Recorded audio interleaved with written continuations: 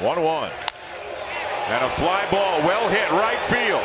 Bruce is back, turns, and it's gone!